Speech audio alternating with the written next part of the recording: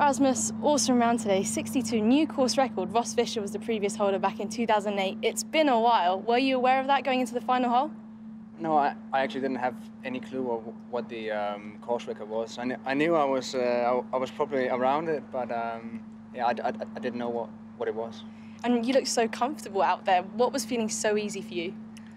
Uh, first of all, I drove the ball way better today than I've done the first couple of days. Um, so obviously, putting myself in position, and I could be aggressive from, from the fairway, um, hold putts from everywhere basically. Um, yeah, and then I had a, I had a spell on the back nine where I was really stressed. We, we were on the clock, so uh, I was probably rushed a couple of shots, um, but then finished strong. So yeah, very, very happy with it.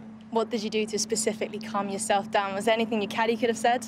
Um, I don't know. We we just try to talk about uh, don't don't let it affect you that I uh, I had a bad timing out there. So I just tried to stay as calm as possible, but obviously I was quite nervous and stressed at the same time.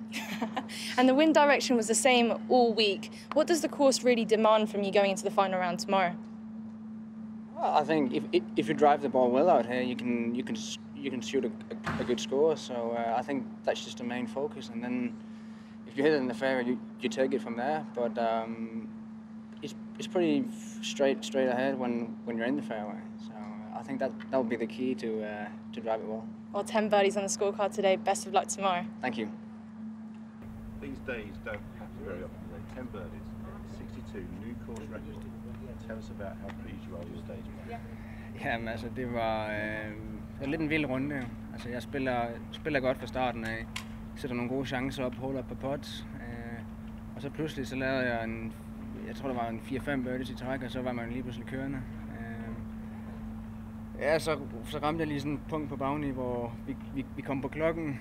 Øh, jeg, jeg fik en dårlig tid, og det hele det var lidt stresset. Øh, så jeg fik lige, jeg fik holdet et par gode parpots, og så øh, holdede jeg to lange pots på hold 18, jo, eller 17 og 18. Så det var sådan lidt en, øh, det hele gik mere eller mindre i det. ikke? You threatened this yesterday, didn't you? Because you started off so well. There was four birdies in the trot, and then it didn't quite happen. What was the difference that 24 hours makes? Not sure. I um, played played the uh, Danish, sorry. oh, Sorry. try again. Then.